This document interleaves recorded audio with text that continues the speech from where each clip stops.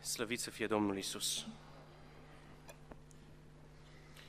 Aș vrea să vă întreb la ce vă gândiți prima dată când vorbiți despre nașterea Mântuitorului? Care este primul lucru care vă sare în memorie atunci când vă amintiți de nașterea Domnului Isus Hristos? Cum este în seara asta, într-o seară în care zicem noi că este ajunul. Așa că atunci când e vorba de nașterea Mântuitorului, ne gândim la magi. Inclusiv copiii care sunt prezenți aici știu fiecare dintre ei istoria magilor. Apoi ne gândim la păstori și am zice, fără de păstori, ce ne-am fi făcut în tabloul ăsta al nașterii? Unii spun, mă gândesc la Maria, pentru că ei a fost cel mai greu și foarte adevărat că i a fost foarte greu. Alții spun, mă gândesc la Iosif. Și multe, multe alte exemple pot continua. În această seară, prin Harul lui Dumnezeu, aș vrea să vorbesc despre niște oameni necunoscuți. Aș vrea foarte mult să-i știu pe oamenii ăștia. Aș vrea să știu cum îi cheamă, poate că mi-aș pune la un băiat, primul chiar. Apropo, să vă rugați ca Dumnezeu să ne dea copii. Amin. Amin. Și dacă vin triplezi, nu e o problemă. Spuneți mai mare amin. Lăudați să fie Domnul pentru asta. Da, dacă i-aș ști numele, i-aș da numele la copilul, nu știu care dintre ei. Dar nu știu cum îi cheamă. Interesant este că acești oameni, acești oameni prezenți, nu știm nici măcar ce înălțime aveau, cum sunt, de unde ce neam, nu știm, interesant. Spune Biblia, pe când erau ei acolo, s-a împlinit vremea când trebuia să nască Maria. Și a născut pe fiul ei, cel întâi născut, l-a înfășat în scutece și l-a culcat într-o iesle. De ce? Pentru că în casa de poposire, în Han, nu era loc pentru cine? Pentru ei. Mi-am dat seama în această seară că atunci când mergeau Maria și cu Iosif pe drumurile Betleemului în noapte, cel puțin noaptea a fost atunci când s-a îmbrățișat îngerul la păstorii de pe câmpiile Betleemului. M-am dat seama că atunci cerul căuta ceva. Și gândul pe care l-am este acesta. Când cerul caută anonimi. E seara ajunului și ai zice, mă, de, de seara ajunului trebuie să vorbești despre oameni importanți. Când e sărbătoare ca asta, trebuie să vorbești despre oameni suspuși, despre oameni care pot să ofere ceva. Ce să ofere niște anonimi de nașterea Mântuitorului?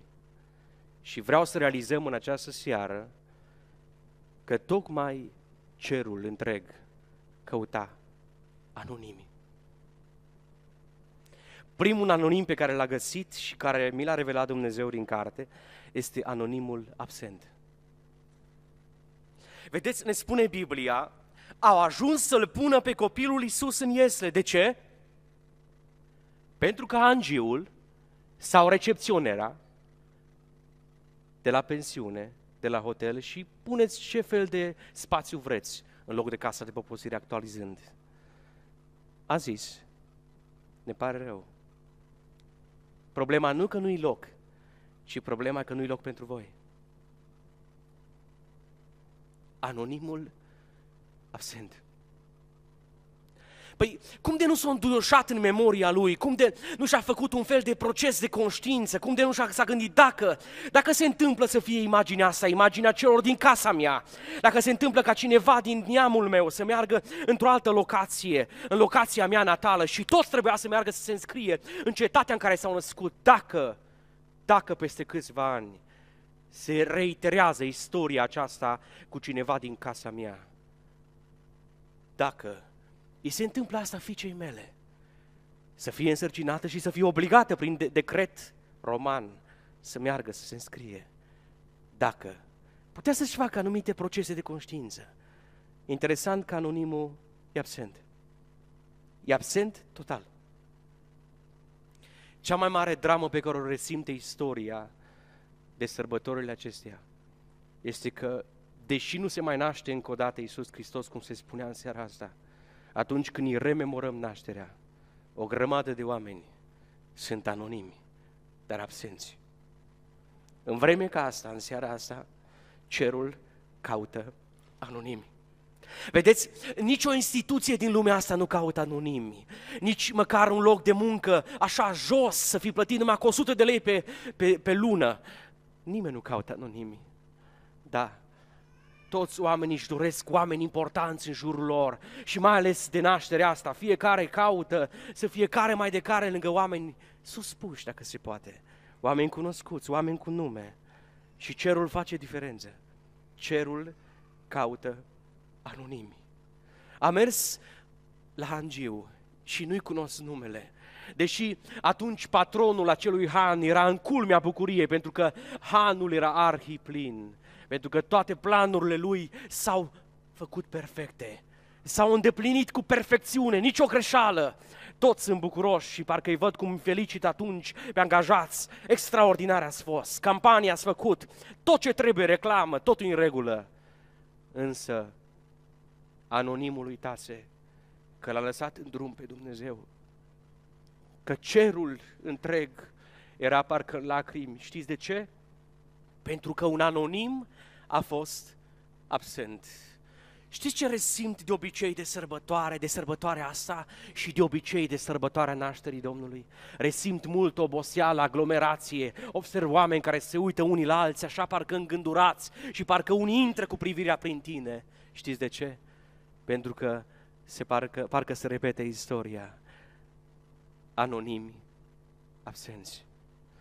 O, ce regrete o fi avut hangiul ăsta sau hangița, recepționera sau recepționerul când a aflat că l-a lăsat în drum, l-a lăsat în drum pe Dumnezeu.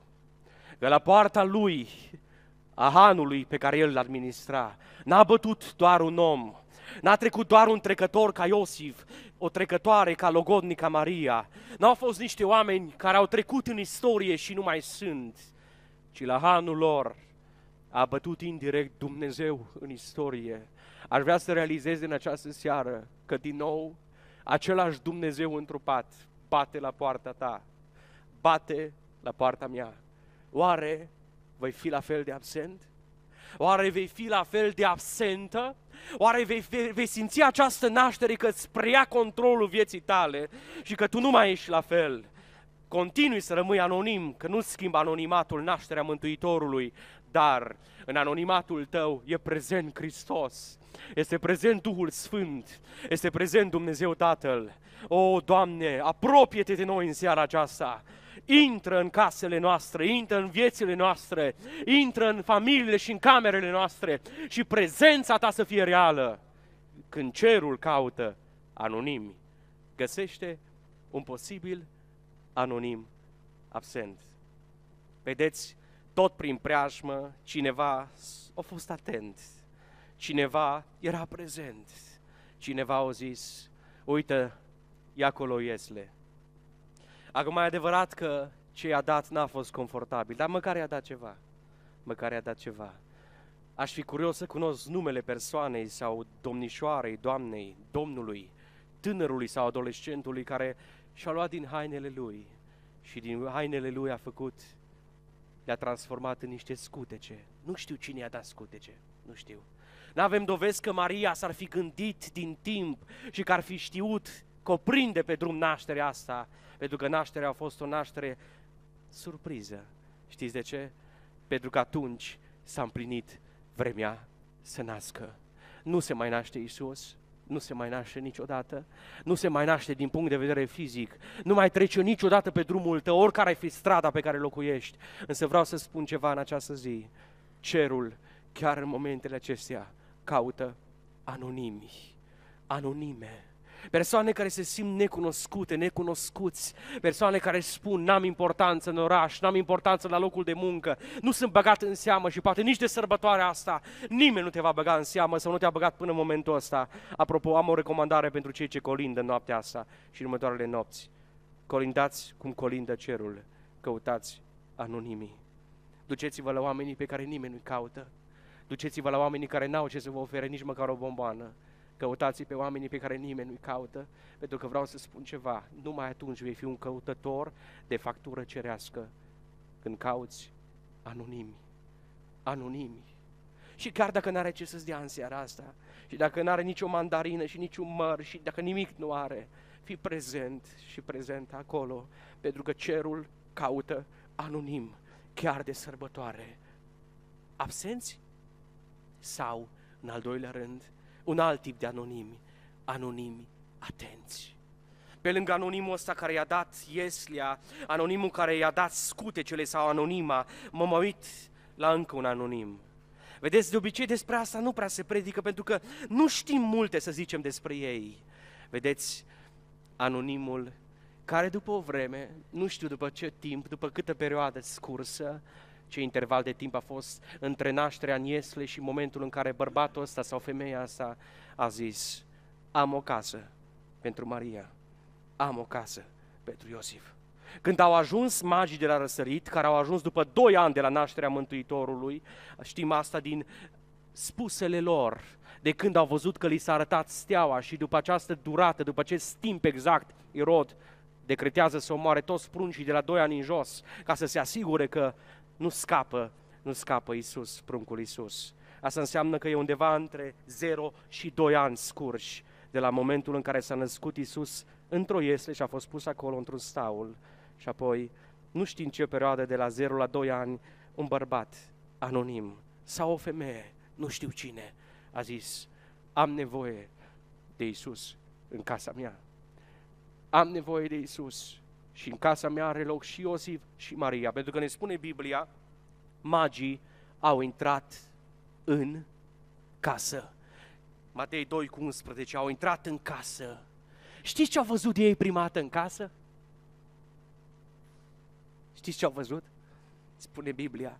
Au văzut pruncul. Chiar dacă vor, vei rămâne anonim sau anonimă, chiar dacă nu numai de sărbătoarea asta, ci viața întreagă vei fi un anonim sau anonimă, nu uita, bine ar fi și obligatoriu în casa vieții tale să se vadă Isus. Spune Biblia, când au intrat magii, au văzut pruncul. Interesant că lumea asta creștină se vede mai mare, Maria. Uh, reușim uneori să-L punem pe pruncul Iisus, așa minuscul, mic, extrem de mic, îl, îl punem în icoane, în filme, în ce vreți voi. Și îl facem mic, mic, mic. Și mare Maria, și mare Iosif, și mari sunt magii, și mare Irod cel mare, că așa e și numele lui. Și toți sunt mari. Și uneori parcă Iisus e mic. Iisus e mic. Caută cerul anonimi în această seară. Anonimi absenți sau anonimi atenți. Eu nu știu ce poți să-i dai Domnului Iisus Hristos de sărbătoarea asta. Nici măcar nu vreau să-ți fac recomandări, pentru că știi mai bine dumneata sau tu, tinere, ce să-i dai lui Iisus. Însă aș vrea din toată inima mea, în anonimatul tău, să-L simți prezent, prezent pe Dumnezeu în casa ta, în viața ta, să se vadă pruncul. Și pruncul este cu pe mare și el este prințul păcii, este eternul care aduce viață și binecuvântare în casa ta. Pentru că de ace- de a, dacă avem nevoie de ceva în generația aceasta, avem nevoie de Domnul Isus Hristos. Avem nevoie de prezența Lui. Sărbătoarea nu-i sărbătoare fără de Isus Hristos. Sărbătoarea nu are nicio valoare, doar cu lucruri care să fie de fațadă.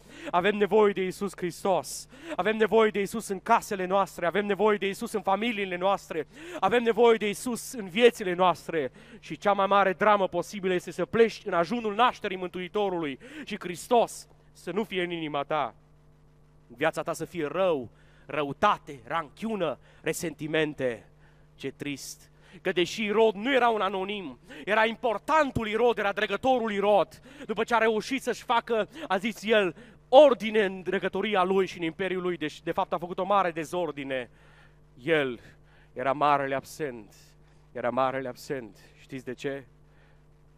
Doi ani s-au scurs. Pruncul Iisus avea deja doi ani, aproximativ, și el nu știa nimic că s-a născut regele. Și când au venit magii de la răsărit, au pus o întrebare clară, concisă, fără de vreun dubiu și au pus întrebarea aceasta spunând, unde este împăratul, regele, de curând născut al iudeilor? Și întrebarea din seara asta este următoarea, unde e regele? Unde e regele? Unde este Domnul Isus Hristos în interiorul vieții tale, în casa ta, în familia ta, de sărbătoare asta? Unde e Isus Hristos? E prezent în mintea ta? E prezent în colindele noastre, da, îl simțim prezent în biserică. El este prezent între noi și strigăm în seara asta, prezența ta să rămână între noi. Nu vrem nici o fracțiune de secundă fără de prezența ta. Nu putem trăi fără de Isus Hristos, e adevărat? Da, nu putem trăi fără de Isus Hristos. Numai de Isus Hristos aveam noi nevoie. Pentru că pe câmpiile Betleemului au strigat în noapte îngerii și au spus, vă aduc o veste bună care va fi o mare, o mare, o mare bucurie pentru tot norodul. Astăzi, în cetatea lui David, vi s-a născut un mântuitor, care este Hristos, Domnul. De Domnul Isus Hristos avem noi nevoie. Caută cerul anonim. Vei fi absent sau atent?